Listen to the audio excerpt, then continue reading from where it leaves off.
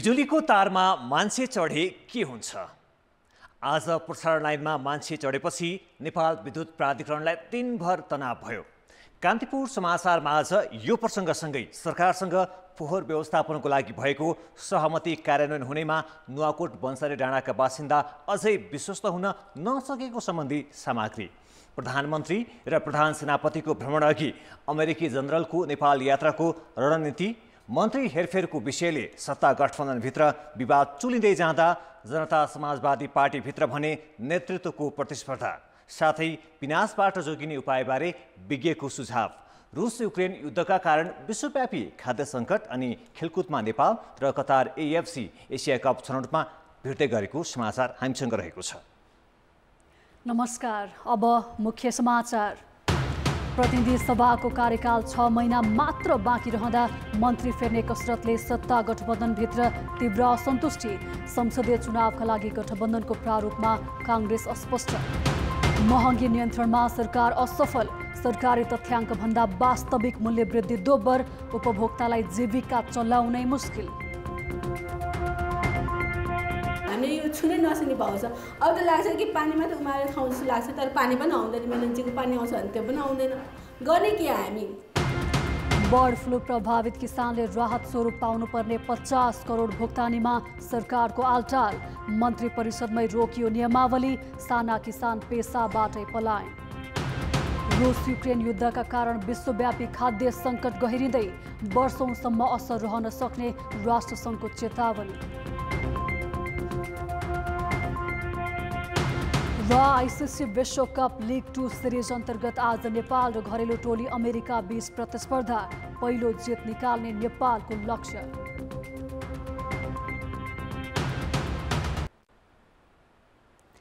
नुवाकोटको ककनी गाउँपालिका वडा नम्बर सातमा उच्च भोल्टेज क्षमताको प्रसारण लाइनमा मान्छे चढेपछि आज देशभरको विद्युत व्यवस्थापन प्रणाली अस्तव्यस्त भयो। बेलकोटगढी नगरपालिका तेह्र बस्ने चौवालिस वर्षीय माइला बिक बिहान नौ बजे हाई टेन्सन लाइनको पोल हुँदै तारमा चढेका थिए। मानसिक सन्तुलन ठिक नभएका भनिएका ती व्यक्ति चढेका कारण पछिल्लो आठ घन्टामा पैँसठी मेगावाट बिजुली प्रणालीभन्दा बाहिर गएको छ। माथिल्लो त्रिशुली थ्री ए र पाँच मेगावाटको सानो आयोजनाको बिजुली प्रसारण आठ घन्टाभन्दा बढी समय प्रभावित भएको नेपाल विद्युत प्राधिकरणका प्रवक्ता सुरेश भट्टराईले जानकारी दिएका छन्।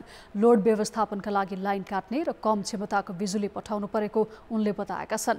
अनेक प्रयासपछि पनि माइला तारबाट उत्रन नमानेपछि उनलाई साँझ नेपाली सेनाको विशेष टोलीले उद्धार गरेको छ।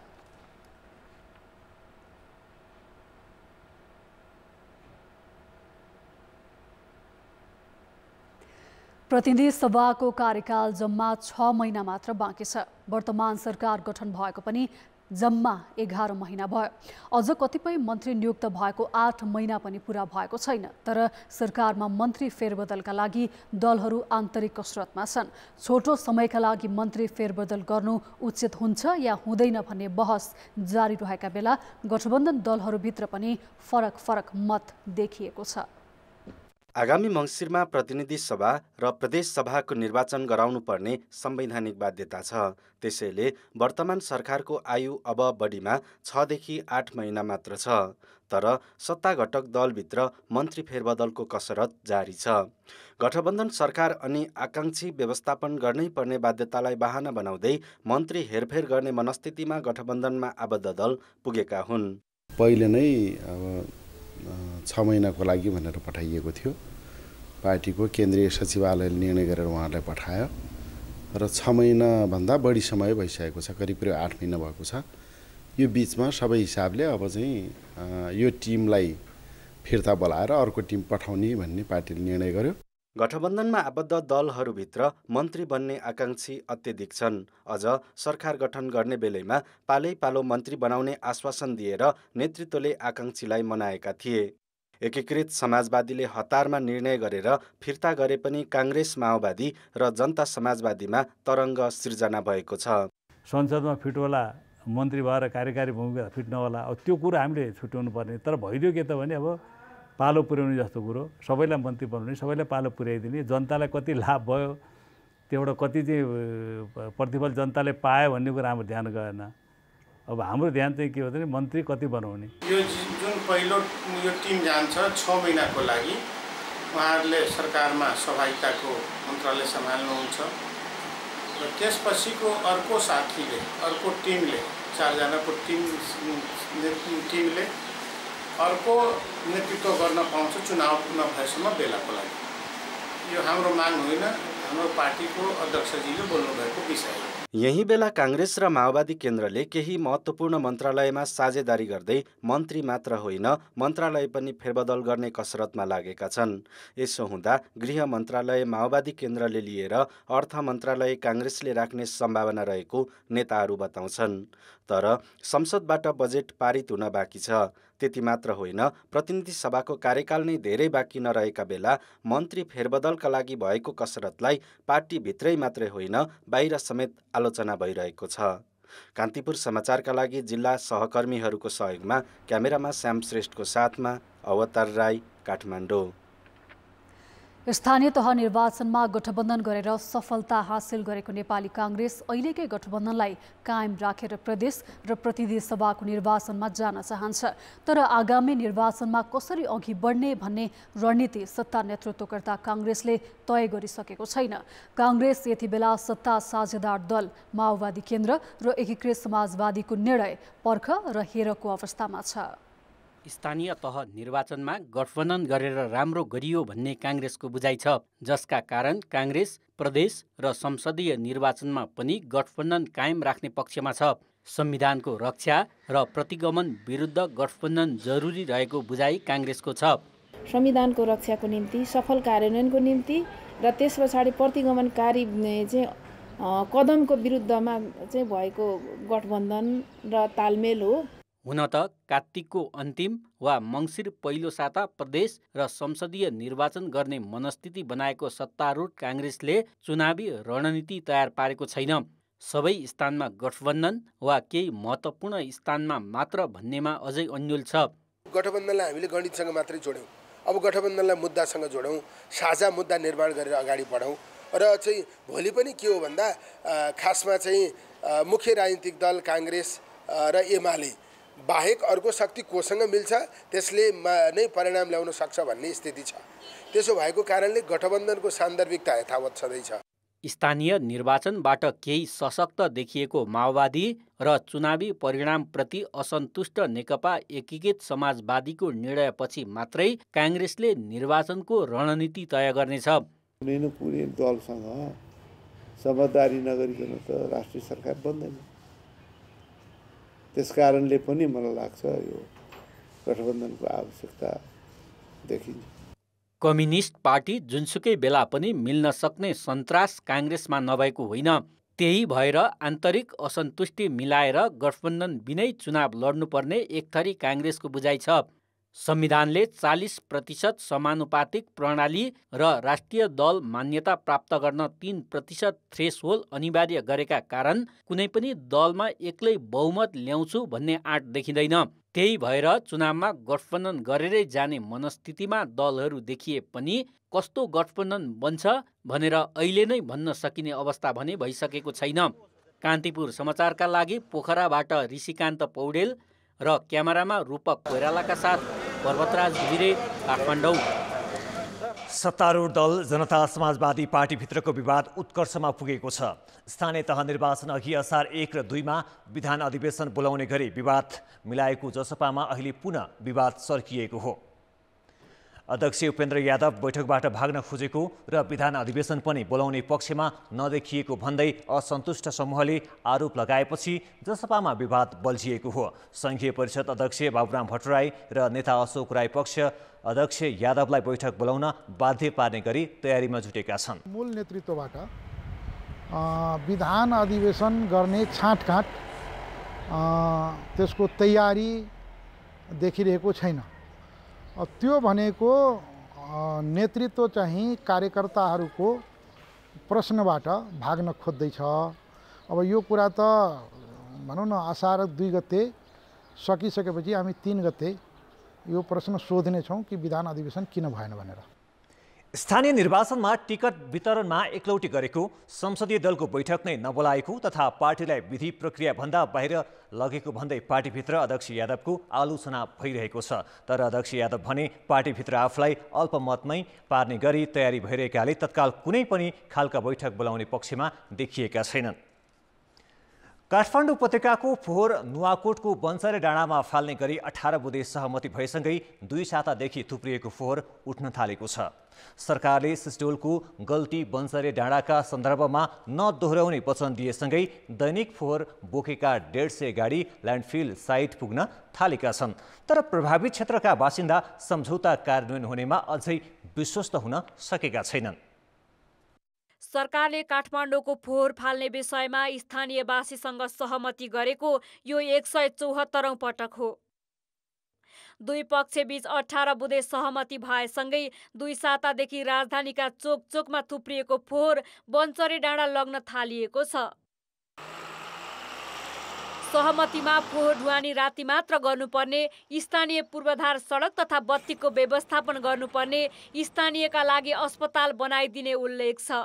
स्थानीयको जग्गा अधिग्रहण लगायत दुर्गन्ध रहित हुने गरी फोहोर व्यवस्थापन गर्ने र सिस्टोलमा भएको गल्ती नदोहोऱ्याउने प्रतिबद्धता सरकारले गरेको छ। अब कसको बिमा गर्ने कसलाई के गर्ने जम्मै महानगरपालिका गर्छ यो।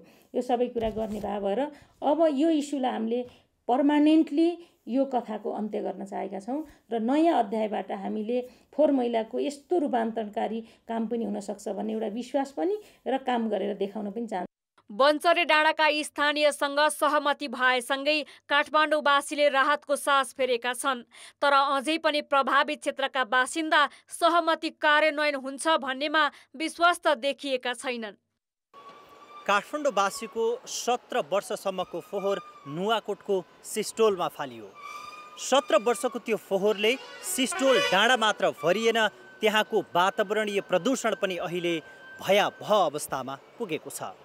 त्यो डाँडो भरिएपछि फोहोर फाल्ने काम केही माथि बन्चरे डाँडामा सुरु गरियो। स्थानीयको अवरोधपछि रोकिएको फोहोर फाल्ने काम पुनः सुरु भएको छ। यद्यपि पूर्वाधार तयारी बिना नै फाल्न थालिएको यहाँको फोहोरले सिस्टोलको अवस्थामा नै बन्चरे डाँडालाई पुर्याउने हो कि भनेर यहाँका स्थानीय चिन्तित भइरहेको अवस्था छ।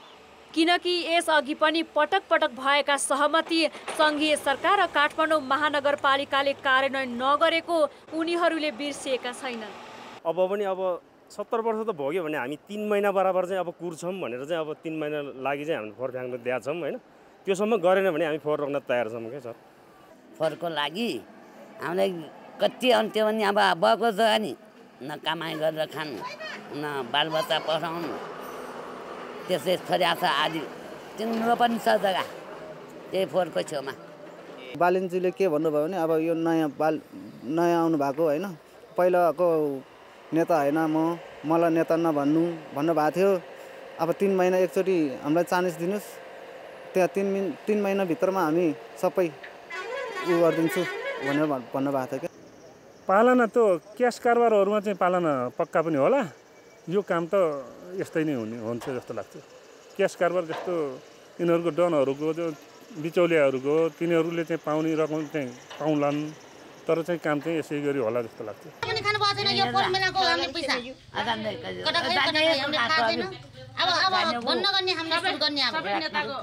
काठमाडौँ उपत्यकामा लामो समयदेखि थुप्रिएको फोहोर तत्कालका लागि व्यवस्थापन भएको छ। अब स्थानीयसँग भएका सहमति कार्यान्वयन गरेर दीर्घकालीन समाधानतर्फ सरकार अग्रसर हुनै पर्छ। कान्तिपुर समाचारका लागि क्यामेरामा मुरारी घिमिरेका साथ सरोज थापा र अञ्जना लामिछाने काठमाडौँ। समाचारमा पुनः स्वागत छ। मूल्यवृद्धि साढे छ प्रतिशतमा सीमित राख्ने सरकारी लक्ष्य छ। राष्ट्र ब्याङ्कको तथ्याङ्कले भने मूल्यवृद्धि आठ प्रतिशत नजिक पुगेको देखाउँछ। तर बजारको वास्तविक मूल्यवृद्धि त्योभन्दा बढी अर्थात् दोहोरो अङ्कभन्दा माथि छ। सरकार मूल्यवृद्धि नियन्त्रण गर्ने प्रयासमा लाग्नुभन्दा पेट्रोलियम पदार्थको मूल्यवृद्धि र रुस युक्रेन युद्धलाई कारण देखाउँदै उम्किन खोजिरहेको छ। दिन प्रतिदिन मूल्य बढिरहेको छ आज एउटा भाउले किन्छ भोलि बिहान अर्कै भाउ हुन्छ। भन्नै नसक्ने एकदम आकाशमा गएको भाउ छ यो। हामीले यो छुनै नसक्ने भाउ छ। अब त लाग्छ कि पानी मात्रै उमारेर खाउँ जस्तो लाग्छ तर पानी पनि आउँदैन। मेलन्चीको पानी आउँछ भने त्यो पनि आउँदैन। यी हुन् ललितपुर पाटनकी पृथबिन्दु महर्जन। सरकार मूल्यवृद्धि नियन्त्रण गर्न असफल भएपछि उनी जस्तै लाखौँलाई घर व्यवहार चलाउन हम्मे हम्मे छ। सरकारसँग बजार अनुगमन र नियन्त्रण गर्ने एक दर्जनभन्दा बढी निकाय छन् तर ती सबै निकाय निष्क्रिय जस्तै भन्दा मूल्यवृद्धि अस्वाभाविक भएको छ। सरकारको आपूर्ति नीति नै असफल भएका कारण उपभोक्ताले महँगीको मार झेल्नु परेको छ। सरकारको यो आपूर्ति नीति नै ठिक छैन। एकातिर उत्पादन अत्यन्त कम भइराखेको छ। अर्कोतिर आयात अत्यन्त बढिराखेको छ। र यो बेलामा फेरि सरकारको अदूरदर्शी निर्णय के गरियो भने अब आयात घटाउने उत्पादन बढाउने भन्यो। हुनै नभएको उत्पादन कहाँबाट बढाउने? मुद्रास्फीति नेपाल राष्ट्र बैङ्कले लिएको लक्ष्यभन्दा निकै माथि पुगेको छ। राष्ट्र बैङ्कले चालु आर्थिक वर्षका लागि साढे छ प्रतिशतको लक्ष्य लिएको थियो तर सात दशमलव आठ सात प्रतिशत पुगिसकेको छ। महँगीले उपभोक्ता मात्र होइन खुद्रा व्यापारी पनि उत्तिकै मारमा छन्। अब हामीलाई त बेच्नै पो झन् धेरै अप्ठ्यारो भएको छ। अझै पनि अब आज ल्यायो भोलि बढाएको छ भोलि ल्यायो पर्सि बढाएको छ। दिनानु अब माथिल्लो गभर्मेन्ट सरकार निकायले हेरविचार नपुर्या हो कि नभ्याएको हो कि त्यो अवस्थाले गर्दा अब हामी जस्तोलाई त कुनैमा एक रुपियाँ खाएर बेच्नुपर्ने अवस्था छ दुई रुपियाँ खाएर बेच्नुपर्ने अवस्था छ डराएर पनि बेच्नुपर्ने अवस्था छ। गत वर्ष प्रति केजी नब्बे रुपियाँ रहेको मुसुरोको दाल अहिले एक सय साठी रुपियाँ पुगेको छ। तर सरकारी तथ्याङ्क भने दाल तथा गेडागुडीमा बाह्र प्रतिशत मूल्य वृद्धि भएको बताउँछ। मुद्रास्फीति राज्यको नियन्त्रणभन्दा बाहिर गइसकेको छ। केही हदसम्म महँगी हाम्रो हातमा छैन क्या अहिले? सरकारको हातमा छैन। किन भन्दाखेरि अन्तर्राष्ट्रिय बजारमा पेट्रोलियम प्रडक्टको जुन भाउ बढिरहेछ यसमा चाहिँ हामीलाई ठ्याक्कै एक्ज्याक्टली भन्नुपर्दाखेरि चाहिँ डिजेलको प्राइस चाहिँ एकदमै बेसी गुड्समा छ हामीले। जब डिजेलको प्राइस बढ्दै जान्छ नि यसले चाहिँ के भएको हुन्छ भन्दाखेरि डिजेलको प्राइसको कारणले चाहिँ हाम्रो सानो सानो पनि प्रडक्टहरू जसले एकदम गरिबभन्दा गरिब जनताले प्रयोग गर्ने प्रत्येक सामान तथा वस्तुहरूको चाहिँ मूल्य बढ्दै जान्छ। गत वर्ष वीरगन्जबाट काठमाडौँसम्मको ढुवानी भाडा प्रति केजी दुई रुपियाँ थियो। अहिले यो बढेर तिन रुपियाँ पुगेको छ जुन पचास प्रतिशतले बढी हो। त्यस्तै एक वर्षको अवधिमा चामल प्रति बोरा तिन सय रुपियाँ चिनी प्रति केजी बिस रुपियाँ दाल नब्बे रुपियाँदेखि सय रुपियाँ सूर्यमुखी तेल अस्सी रुपियाँ सोयाबिन तेल नब्बे रुपियाँले बढेको छ। तर राष्ट्र बैङ्कको तथ्याङ्कले दाल तथा गेडागुडीको मूल्य बाह्र प्रतिशत घिउ तेलको मूल्य अठाइस प्रतिशतले वृद्धि भएको देखाउँछ। यसले पनि सरकारी तथ्याङ्कभन्दा वास्तविक मूल्य बढिरहेको स्पष्ट हुन्छ। कान्तिपुर समाचारका लागि क्यामेरामा विनोद कोजुका साथ भरत रावल काठमाडौँ। अन्तर्राष्ट्रिय सम्बन्धमा नेपालले राजनीति र सैन्य कूटनीति दुवैलाई जोड्दै आएको छ। विशेष गरेर चीन र भारत जस्ता विश्व शक्ति राष्ट्रको बीचमा रहेको नेपालका लागि सन्तुलित सम्बन्ध सबैभन्दा महत्त्वपूर्ण छ। एमसिसी सहित अमेरिकाले एसिया प्रशान्तमा देखाएको चासोमा नेपाल पनि जोडिनुले थप संयमताको खाँचो छ।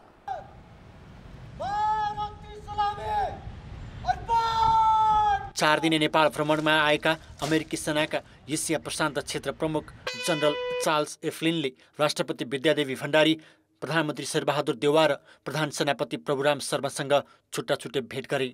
जनरल फ्लिन सद्भाव र सैन्य सम्बन्धका लागि नेपाल आएका हुन्। तर आगामी असार पहिलो साता प्रधान सेनापति शर्माको अमेरिका भ्रमण र त्यस लगत्तै प्रधानमन्त्री देउवाको पनि अमेरिका जाने तयारी भइरहँदा अमेरिकी सेना प्रमुखको भ्रमणमा सैन्य रणनीतिलाई समेत जोडेर हेरिएको छ। नेपालले सन् दुई हजार सोह्रमा दस हजार थान हतियार अमेरिकासँग खरिद गरेको थियो। त्यसबाहेक अमेरिका स्वयंले नेपाललाई चारवटा जहाज दिने घोषणा गरेको थियो जसमध्ये दुईवटा आइसकेको छ। अन्य सैनिक अभ्यास पनि हुँदै आएका छन्। यसपटक भारत हुँदै नेपाल आएका जनरल फ्लिनले भारतमा चिनलाई जोडेर समेत अभिव्यक्ति दिएपछि एसियामा अमेरिकाले सैन्य उपस्थिति बढाउन चाहेको सङ्केत गरेको छ। उहाँहरूले आइडेन्टिफाई गर्नुभयो कि Nepal is really strategically important for Americans एउटा कुरो त्यो बुझ्यो। अर्को यहाँले भन्नुभयो अब एमसिसी पछिको यो भिजिट पनि अलि निकै बढेको छ नि बाक्लेको छ नि। हामीलाई यो कुनै सैनिक गुटबन्दी सैनिक होडबाजी सैनिक शक्तिको चाहिँ यो एउटा डेमोन्स्ट्रेसन त्यो देखाएर हामीलाई चाहिँ यो प्रोभोकेसनहरू यी चिजहरू हुनु चाहिँ नितान्त हाम्रो लागि चाहिँ यो दुर्भाग्यपूर्ण हुन्छ। यो हाम्रो लागि चाहिँ शान्तिको बाटो होइन। यसले त टेन्सनले झन् बढी टेन्सन चाहिँ को यसको चाहिँ निकाल्न सक्छ भनेर हामीले त्यस्ता चिज लिएर जान सक्छौँ नि। भनेपछि यी चिजलाई यी भिजिटहरूलाई पनि हामीले आफ्नो के भने एउटा पोजिटिभ सकारात्मक यसको चाहिँ पक्षहरूलाई लिएर हामीले गर्न सक्छौँ। विश्व सैन्य शक्ति राष्ट्र भारत र चीनसँग पनि नेपालले सैन्य अभ्यास नगरेको होइन। भारतसँग सूर्य किरण र चीनसँग सगरमाथा फ्रेन्डसिप नाममा अभ्यास हुँदै आएको छ। दुई वर्षअघि चिनिया रक्षा मन्त्री नेपाल आएका थिए। शक्ति राष्ट्रहरूसँग सैनिक सम्बन्ध मात्रै हुँदा समस्या नभए पनि कुनै गठबन्धनमा लाग्न नहुनेतर्फ सचेत हुनुपर्ने विज्ञको सुझाव छ। गरिकन दुइटै हाम्रा इमिडिएट निबर्सहरू छिमेकीहरूसितको हाम्रो आफ्नै सम्बन्ध छ। त्यसमा जियो पोलिटिकली हामी जहाँ छौँ त्यसमा अरूले हामीलाई उपयोग गर्ने प्रयोग गर्ने खालका खतराहरू रहन्छन् सम्भावनाहरू रहन्छन् त्यसबाट हामी जोगिनुपर्छ दुई विश्व सैन्य शक्ति भएको छिमेकी मुलुक चीन र भारतले नेपालको गतिविधि निकै नजिकबाट निहालिरहेका छन्। आर्थिक परियोजनामा साथ लिएर विकासमा जोड दिए पनि कुनै एउटा शक्ति राष्ट्रसँगको सम्बन्धले छिमेकका अर्को देशलाई पर्न सक्ने सुरक्षा चासोप्रति नेपाल संवेदनशील बन्नै पर्नेछ।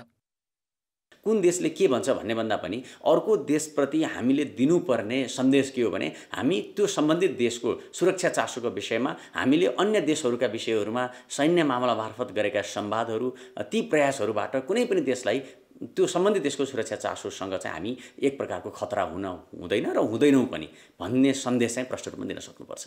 सैन्य क्षमता अभिवृद्धि र पारस्परिक सम्बन्धका लागि सैन्य कूटनीति आफैमा महत्त्वपूर्ण छ। तर आफ्नो आवश्यकताभन्दा बाहिर जान सक्नेतर्फ भने संवेदनशील हुन जरुरी छ। कान्तिपुर समाचारका लागि क्यामरामा सुरज खड्का र गोविन्द खत्रीका साथमा रमेश धमला काठमाडौँ। शैक्षिक सत्र सुरु भएको दुई महिना हुन लाग्दा पनि मध्य प्रदेशका सामुदायिक विद्यालयहरूमा पाठ्य पुस्तक पुगेको छैन। कक्षा चारदेखि दससम्मका चालिस प्रतिशत विद्यार्थीले अझै पाठ्य पुस्तक पाएका छैनन्। धनुषाको फुलगामा स्थित गिरिजा माध्यमिक विद्यालयका कक्षा चारदेखि कक्षा दससम्मका एक हजार सात सयभन्दा बढी विद्यार्थीले एउटा पनि किताब पाएका छैनन्। शिक्षकले दैनिक गृह कार्य दिए पनि कपी कलम र साथीभाइसँग मागेर ल्याएका केही पुरानो किताबको सहारामा उनीहरू पढिरहेका छन्। किताब नभएको कारणले पढाइमा पनि धेरै ढिलो हुन सक्छ अनि परीक्षा नजिक आइहाल्छ भने समस्या धेरै गाह्रो हुन्छ। मौतरीको मझौरा स्थित नेपाल राष्ट्रिय जनता माध्यमिक विद्यालयका विद्यार्थीले पनि अहिलेसम्म पाठ्यक्रम पाएका छैनन्। कक्षा दससम्मका पढाइ हुने यस विद्यालयमा एक हजारभन्दा बढी विद्यार्थी अध्ययनरत छन्। तर पचास प्रतिशत विद्यार्थीले मात्र पुरै सेटमा पुस्तक पाएका छन् भने कतिपयले जम्मा दुई तिनवटा विषयका पुस्तक मात्र लिएर पढ्न बाध्य छन्। अङ्ग्रेजी आएको छैन नेपाली आएको छैन स्वास्थ्य आएको छैन पेसा आएको छैन सामाजिक आएको छैन। किताब उपलब्ध हुन नसक्दा पठन पाठनमा असर त परेको छ नै। विद्यार्थीले अर्धवार्षिकी परीक्षामा के लेख्ने चिन्ताले भने सताएको छ। जनक शिक्षा सामग्रीले माग बमोजिमको पुस्तक बजारमा उपलब्ध गराउन नसकेपछि शैक्षिक सत्र नै प्रभावित भएको हो। र कम्युनिकेसनको अभावले होइन। बजारैमा के पाठ्य पुस्तक छैन हजुर। बजारमा के पाठ्य पुस्तकको अभाव भएकोले यो विद्यालयमा अहिले सबै कक्षामा किताबको अभाव छ कन्ट्र्याक्टरले यो गऱ्यो महँगाई बढ्यो कागजको रेट बढ्यो यो आजको त मात्रै होइन यो सधैँको हो यो म पाँच वर्षदेखि यहाँको सिस्टम मैले हेरेको छु मध्य प्रदेशको छ जिल्लासहित सुनली खोटाङ र अखलढुङ्गामा पाठ्य पुस्तक आपूर्ति गर्ने जनक शिक्षा सामग्री केन्द्रको मध्य प्रदेश कार्यालय माथत सत्ताइस लाख पुस्तकको आवश्यकता छ। तर अहिलेसम्म पन्ध्र लाख पुस्तक मात्र उपलब्ध भएको छ।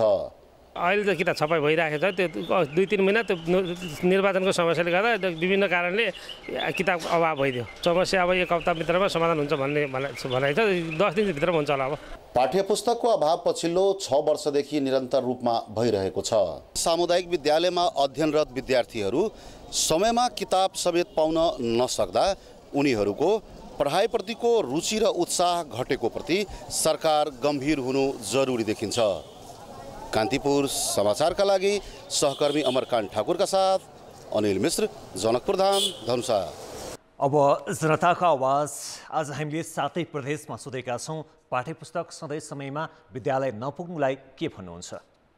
जनताको आवाज। प्राइभेट विद्यालयहरूमा समयमै पाठ्य पुस्तक पुग्नु तर सार्वजनिक विद्यालय सामुदायिक विद्यालयमा चाहिँ समयमा पाठ्य पुस्तक नपुग्नु भनेको चाहिँ यो चाहिँ एकदमै लापरवाही हो। सरकारी पक्षबाट नै यो चाहिँ नियमित प्रक्रिया हो भनेर समयमा व्यवस्थापन गर्ने प्रयत्न गर्नु भने नहुने कुरा होइन। विद्यार्थी सङ्ख्या धेरै छन् पाठ्य पुस्तक कम छाप्छ। समयमै किताब बनाइदिनु भएदेखि यस्तो समस्या आउने थिएन। पोलिसी मेकिङ लेभलमा रहेका मान्छेहरूको गम्भीर लापरवाही। सबैले ध्यान नपुर्याएर सफाइ गरेर विद्यालयहरूमा अथवा विभिन्न जिल्लाहरूमा चाहिँ पठाउने कार्यमा चाहिँ अलिकति ढिलासुस्ती भएको कारणले नै शिक्षा मन्त्रालयले आफ्नो चाहिँ जिम्मेवारी बोध गर्नु पर्यो। मतदान पत्र छापेर ढिलो भयो भनेर यो बाहना बनाएको छ सरकारले प्रत्येक वर्ष यो एउटै मात्र जनशिक्षा सामग्रीलाई जिम्मा दिएको कारण शिक्षालाई पनि यो एउटा राज्यको एउटा अङ्ग हो भन्ने नसोच्नको कारणले कमिसन नमिलेर हो। शिक्षामा नै सबभन्दा बढी भ्रष्टाचारी हुने गरेको यहाँ देखिएका छन्। आफ्नो व्यक्तिगत स्वार्थ हेर्छ। हरेक जिल्लाहरूमा एक एकवटा डिपो स्थापना गरेर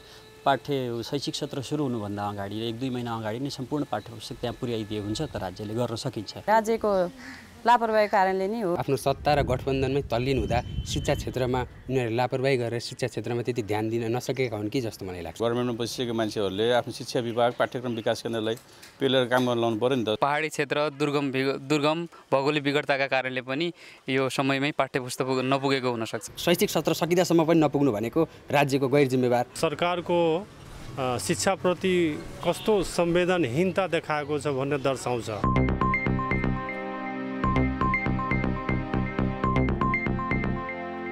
तपाईँ हामी मध्य धेरैले लामो समयदेखि नाक टालिने टाउको दुख्ने लगायतका समस्या भोगिरहेका हौला। तर नाकका हरेक समस्या पिनास होइन र पिनासको उपचार सम्भव छ। पिनास के हो कसरी हुन्छ र समाधान के हो भन्नेबारे त्रिवी शिक्षण अस्पतालका नाक कान घाँटी रोग विशेषज्ञ डाक्टर रविन्द्र भक्त प्रधानाङ्गसँग सहकर्मी कृपाल गौतमले कुराकानी गरेका छन्। नाकको यो वरिपरि जस्तै नाकको वरिपरि यो गालाको पछाडिको भाग यो आँखाको ठ्याक्क बिचको भाग यो आँखाको माथिको भागमा हावा भरिएको एउटा स्पेस खाली खाली स्पेस हुन्छ हड्डीभित्र नै। त्यो हड्डी भएको ठाउँलाई चाहिँ नेपालीमा अब सर्वसाधारणले पिनास भन्ने हुन्छ र त्यसमा इन्फेक्सन भयो र त्यहाँबाट आएको इन्फेक्सन नाकबाट नाकमा कनेक्सन भएको कारणले नाक र त्यो भागको इन्फेक्सन भयो भने चाहिँ हामी चाहिँ पिनास भनेर बुझ्छौँ। पिनास हुँदाखेरि सबभन्दा मान्छेलाई हुने नै नाकको समस्या हुन्छ। अब नाक बन्द भएपछि मान्छे धेरै नै इरिटेट हुन्छ। नाक किन बन्द हुन्छ भने त्यहाँभित्र भएको जुन टर्मि त्यहाँभित्र भएको मासुहरू जति फुल्न थाल्छ त्यसपछि त्यहाँ सिँगान बाक्लो सिँगानहरू जम्मा हुन्छ त्यसले गर्दाखेरि नाक बन्द हुन्छ। नाक बन्द भइसकेपछि त्यो नाकको वरिपरिको जुन खोक्रो भागहरू हुन्छ त्यहाँबाट आउने जति सेक्रेसनहरू छ जति पानी जस्तो चिजहरू सिँगान जस्तो कुरा त्यहाँ बनेको बाहिर निस्किने कुरा सबै त्यहाँ बन्द हुन जान्छ त्यो निकास बन्द भइसकेपछि त्यहीँभित्र झन् इन्फेक्सनको लागि सोर्स बन्छ। त्यो इन्फेक्सन बढ्न थालेर झन् त्यसपछि निको पार्न गाह्रो हुन्छ। अब यसमा चाहिँ सबभन्दा बढी मान्छेलाई नाक बन्द हुने त्यसपछि एकदम बाक्लो सिँगान आउने त्यसपछि अनुहार र टाउको दुख्ने र हल्का रूपमा ज्वरो आउने हुन्छ। त्यस कारण बाक्लो सिँगान आएर नाक एकदम बन्द भयो र त्यसपछि टाउको दुख्छ भने हामीले त्यसलाई चाहिँ पिनासकै रूपमा मान्नुपर्छ। यो यसको उपचार गरिएन भनेदेखि यो अलिक लामो समयसम्म दुख्ने हुन्छ र यसलाई चाहिँ ब्याक्टेरियल भएको ठाउँमा चाहिँ राम्रोसँग एन्टिबायोटिकले ट्रिट गरेन भनेदेखि यसले चाहिँ यो उपचार हुँदा पनि हुँदैन र यसले चाहिँ कम्प्लिकेसन पनि बढाउन थाल्छ। अब यो सर्वसाधारणले यसलाई उपचारै गर्न सकिँदैन पिनास लागिसकेपछि निको पार्नै सकिँदैन भन्ने कुरा जुन छ त्यो चाहिँ होइन। त्यो चाहिँ अब मान्छेहरू धेरै जसो चाहिँ अरूसँग झुकिने हो। नाकको कुनै पनि समस्यालाई पिनाससँग कम्पेयर गर्ने कारणले गर्दाखेरि चाहिँ यो निकै हुँदैन भनेर कुरा चाहिँ धेरै जसो गर्छन्। त्यस कारण पिनास मात्र भएको कुरा चाहिँ आजकलि अपरेसन औषधिले निको भएन भनेदेखि अपरेसन गरेर त्यसको निकासहरू सबै खोलिदियो भने पनि यो पूर्ण रूपमा चाहिँ निको हुन्छ। अर्थ र विकास। बर्ड फ्लू पीडित किसानका लागि भुक्तानी गर्नुपर्ने करिब पचास करोड रुपियाँ दिन सरकारले आलटाल गरेको छ। साना र सीमान्तकृत किसानलाई राहत दिनका लागि बनेको मापदण्ड पाँच महिनादेखि मन्त्री परिषदमा अड्किएको छ। चौध जिल्लाका किसान पेसाबाट विस्थापित हुने अवस्था आउँदा समेत मापदण्ड स्वीकृततर्फ ध्यान दिएको छैन। झापा घर भई काठमाडौँ तारकेश्वरमा हाँस तथा कुखुरा पालन गरिरहेका कृष्ण राउतको फार्म चार महिना यता रित्तै छ। गत फागुनमा बर्ड फ्लू देखिएपछि सरकारले फार्ममा रहेका पाँच सयभन्दा बढी हाँस कुखुरा नष्ट गर्यो। सात लाखभन्दा धेरैको प्रत्यक्ष क्षति भए पनि सरकारले दिने राहत समयमा उपलब्ध नहुँदा उनी व्यवसायमा फर्किन सकेका छैनन्। र अब त्यो कहिले आउँछ? भरि हाम्रो अब यस्तो तिन चार महिना भइसक्यो यस्तो हालत छ। तपाईँहरूको खोरहरू हावाहरूले भत्काउन थालिसक्यो अहिलेसम्म केही व्यवसाय गरेको छैन। छोराछोरीको एडमिसन गर्न पाएको छैन पैसा छैन। समस्या छ कृषकको होइन राज्यले बुझिदिँदैन। फुटुङ तारकेश्वरकी कुखुरापालक कृषक निर्माया वाइवाको पनि अवस्था उस्तै छ। यसै बिजनेस गरौँ कि भनेर आएको होइन? यत्रो भएपछि अब बिजनेस गरै पाएन गर्दा गर्दै ऊ बड्को लाग्यो भन्नुभयो सबै माऱ्यो त्यतिकै। अहिले तनावै तनाव छन् काम केही छैन। बर्ड फ्लू र बर्ड फ्लू जस्तै रोगले किसान पेसाबाट पलायन हुने स्थिति पुग्दा पनि प्राविधिक सेवा उपत्यकाको चक्रपथ बाहिर पुगेको छैन। काठमाडौँको तारकेश्वरमा रहेको विष्णु बस्नेत र मनोज बस्नेतले पालेका तिन हजार कुखुरा मरेपछि पेसा नै बदल्नु पर्यो। कसैले आएर यहाँ निरीक्षण पनि गरेन कसैले केही वास्ता गरेन सर। त्यो भएको कारणले गर्दाखेरि कहाँ गएर कोसँग माग्ने कसले दिने हो केही थाहा पत्तो भएन। अब हामी त डुब्यौँ। ऋण गरेर गरेको बेच्ने बेला भएको कुरा चाहिँ लगभग बिस बाइस लाखको चाहिँ हाम्रो त्यतिखेर क्षति भयो सर। तर कसैबाट कतैबाट पनि केही पनि पाइएन। अनि कान्छोले चाहिँ कृषिको जम्मै सञ्चालन गरिरहेका थिए। उनी पनि पीडित भएर उनी बाहिर खाडीमा पुगे। बर्ड फ्लू रोग विस्तार नहोस् भनेर सङ्क्रमित पन्छी नष्ट गरिन्छ। किसानले पालेका कुखुरा नष्ट गर्दा लागतको सत्तरी प्रतिशत राहत दिने भएपछि कृषकले रोग लाग्न साथ सरकारलाई खबर गर्छन्। यसअघि बर्ड फ्लू नियन्त्रण आदेश दुई हजार चौसठीमा टेकेर राहत दिने गरिएको थियो। अहिले विपद जोखिम न्यूनीकरण तथा व्यवस्थापन ऐन मातहत रहेर नियन्त्रण तथा राहत दिने भनिएको छ। बर्ड फ्लू नियन्त्रण नियमावली बने पनि राहतको मापदण्ड मन्त्री परिषदबाट स्वीकृति नहुँदा किसानले पाउने राहत रोकिएको हो। बर्ड फ्लू रोग नियन्त्रण नियमावली दुई हजार अठहत्तर छ। त्यसले चाहिँ तोकेको राहत मापदण्डको आधारमा किसानलाई राहत दिने भनेको छ। त्यो मापदण्ड चाहिँ स्वीकृतिको प्रक्रियामा चाहिँ नेपाल सरकार मन्त्री परिषदमा विचार दिने अवस्थामा छ। त्यहाँबाट चाहिँ निर्णय हुनासाथ हामीले सकेसम्म छिटो मलाई लाग्छ असारभित्र हामी दिने गरी हाम्रा कार्ययोजना बनाएका छौँ। पशु सेवा विभागका अनुसार माघ महिना यता चौध जिल्लाका एक सय दस ठाउँमा बर्ड फ्लू देखिसकेको छ। करिब तिन लाख हाँस कुखुरा कालिज जस्ता पन्छी नष्ट गरिएको छ। सरकारी लागत अनुसार चार लाखभन्दा धेरै अन्डा र बैसठी हजार केजी दाना नष्ट गरिएको छ। यसपालि ठुलाभन्दा पनि जैविक सुरक्षा अपनाउन नसकिएका फार्ममा साना तथा सीमान्तकृत कृषकले धेरै क्षति भएको देखिन्छ। राहत दिन ढिलाइ गरिँदा किसान थप समस्यामा परेका छन्। वैदेशिक रोजगारीबाट फर्किएका र स्वदेशमै उद्यम गरिरहेका युवाहरू चाहिँ कुखुरा पालन र पोल्ट्री क्षेत्रमा लागिरहेका थिए तर बर्ड फ्लूका कारण धेरै प्रभावित भए। बर्ड फ्लूबाट फार्म नै रित्तिए पनि त्यस्ता युवाहरूलाई भने सरकारले वैकल्पिक कृषिका कार्यक्रममा ल्याउन सकेको छैन। कान्तिपुर समाचारका लागि क्यामरामा सञ्जय लुटेलका साथ सुमन पन्थ तारकेश्वर काठमाडौँ। अब जनमतको अन्तिम परिणाम जनमतमा हिजो हाम्रो प्रश्न थियो संसदमा हुने छलफललाई प्रभावकारी बनाउन के गर्नु पर्ला ए सुझावको सुनवाई बी कार्यान्वयनमा इमान्दारिता र सी प्रक्रियाभन्दा परिणाममा केन्द्रित। जनमतको अन्तिम परिणाम यस्तो छ। ए सुझावको सुनवाईमा पच्चिस प्रतिशत बी कार्यान्वयनमा इमान्दारितामा एकाउन्न प्रतिशत र सी प्रक्रियामा प्रक्रियागत प्रक्रियाभन्दा परिणाममा केन्द्रितमा चौबिस प्रतिशत। अब जनमतमा आजको प्रश्न। जनमत। हाम्रो प्रश्न छ किसानलाई दिने राहतमा किन आनाकानी भएको होला? ए प्राथमिकतामा नपरेर बी किसानको मर्का नबुझेर र सी सही तथ्याङ्क नभएर।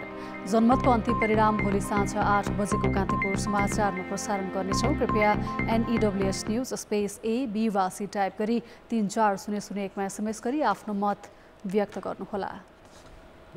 खेलकुद समाचार। कान्तिपुर खेलकुद समाचारमा स्वागत छ। आइसिसी विश्वकप लिग टू सिरिज अन्तर्गत नेपालले आज खरेल टोली अमेरिकासँग प्रतिस्पर्धा गर्दैछ। टेक्सस स्थित मोसा क्रिकेट स्टेडियममा हुस्टेनमा नेपालले टस जितेर पहिले ब्याटिङ रोजेको छ। नेपालको स्क्वाडमा आज तीन परिवर्तन गरिएको छ। ओपनिङ जोडी कुशल भुर्तेल र आसिफ शेख फिट भएर टिममा फर्किँदा आदिल अन्सारीले नेपालबाट एकदिवसीय अन्तर्राष्ट्रियमा डेब्युको मौका पाएका छन्। सुभाष ककुरेल विरोध भण्डारी र सुनिल धमलालाई विश्राम दिइएको छ। जारी सिरिजको पहिलो खेलमा नेपाल ओमानसँग तेह्र रनले पराजित भएको थियो। ओमानले दिएको दुई सय बाह्र रनको लक्ष्य पछि आएको नेपाल दुई बल बाँकी हुँदा एक सय अन्ठानब्बे रनमा अलआउट भएको थियो। अघिल्लो खेलमा खराब ब्याटिङ गरेको नेपालबाट आज सुधारेको खेलको अपेक्षा गरिएको छ। सो खेलमा नेपालको ओपनिङ जोडी पनि पूर्ण रूपमा असफल भएको थियो। आरिफ शेखले सर्वाधिक छैसठी रन बनाउनु बाहेक अन्य ब्याटरले राम्रो प्रदर्शन गर्न सकेनन्।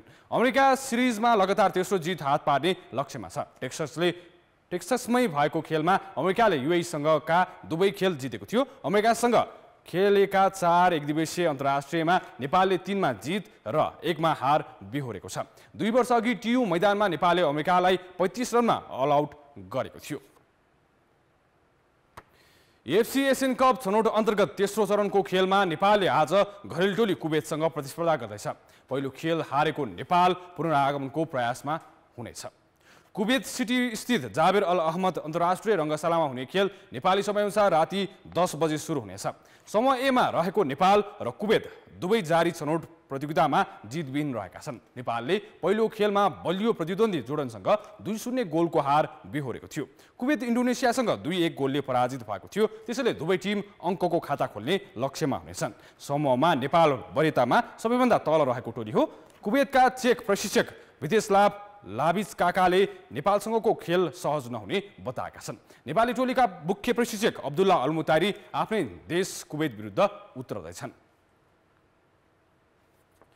Tribhuvan army football club Makwanpur gold कपको फाइनलमा प्रवेश गरेको छ। आज भएको खेलमा क्यामरुनी क्लब इभनियर एफसीलाई पेनाल्टी सुटआउटमा पराजित गर्दै आर्मी उपाधि नजिक पुगेको हो। हेटौडाको तिन पिप्लेमा भएको खेलको निर्धारित समय एक एक गोलको बराबरीमा रोकियो। दोस्रो हाफको उनपचासौँ मिनटमा दिनेश हेम्जनले गोल गरी आर्मीको खाता खोलेका थिए। अतिरिक्त समयमा डिजिकाले गोल गरी खेललाई बराबरीमा ल्याए त्यसपछि भएको पेनाल्टी सुटआउटमा दुवै टिमले पुनः आठ आठ गोलको बराबरी गरेपछि खेल रोमाञ्चक बनेको थियो। त्यसपछि भएको टाई ब्रेकरमा आर्मीका लागि दिनेश दीपक गुरुङ र सीमान्त थापा मगरले गोल गर्दा एभिनियरका दुई खेलाडीले मात्र गोल फर्काउन सके। डिजिकाको प्रहार क्रसबारमा लागेर बाहिरिएपछि आर्मीले विजय युथ क्लबसँगको फाइनल भिडन्त पक्का गरेको हो। फाइनल खेल सोमबार हुनेछ। उपाधि विजेताले पन्ध्र लाख र उपविजेताले दस लाख रुपियाँ प्राप्त गर्नेछन्। कान्तिपुर खेलको समाचार अहिले यति नै। अब मौसम सम्बन्धी जानकारी।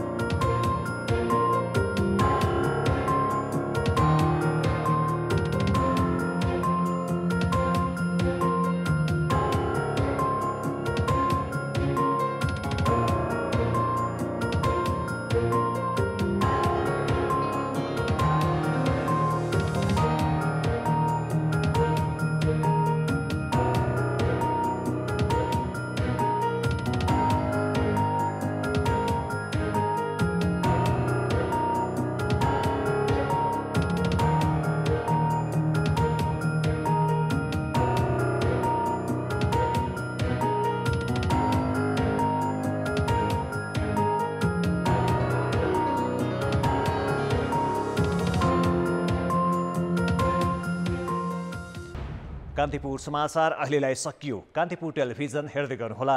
नमस्ते।